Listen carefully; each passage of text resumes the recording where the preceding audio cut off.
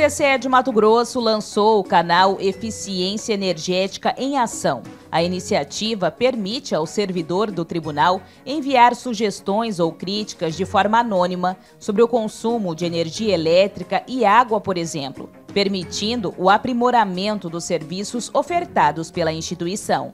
Essa ação faz parte das diretrizes estabelecidas pela certificação ISO 50001, que prevê o avanço contínuo da política energética da Corte de Contas. O TCE de Mato Grosso é o único órgão público do Brasil a obter esse certificado pela ABNT. O consumo consciente e sustentável faz parte do plano da gestão do conselheiro-presidente José Carlos Novelli. Por isso, ouvir a opinião dos servidores para qualificar o serviço prestado é fundamental.